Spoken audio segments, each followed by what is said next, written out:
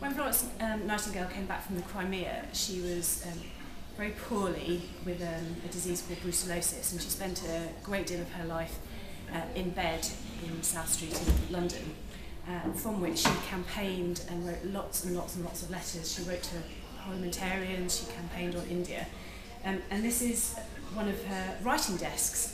It's a portable writing desk, so she would have been able to sit with it on her knee uh, and write. And it was given to her by the villagers of Lea and Holloway up in Derbyshire, uh, near to where the family had uh, their home.